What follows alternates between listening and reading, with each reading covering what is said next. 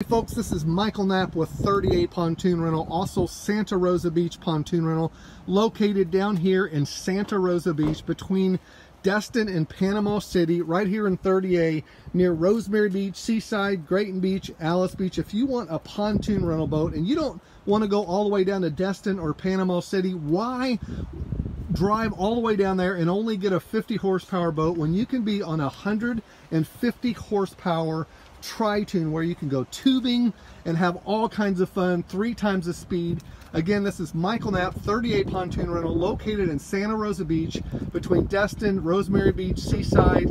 We have the fastest, smoothest pontoon rental boats on the market. This is our eight passenger lounger. We also have 12 passenger and 12 passenger double decker pontoons with water slides. 30apontoonrental.com or Santa Rosa Beach pontoonrental.com.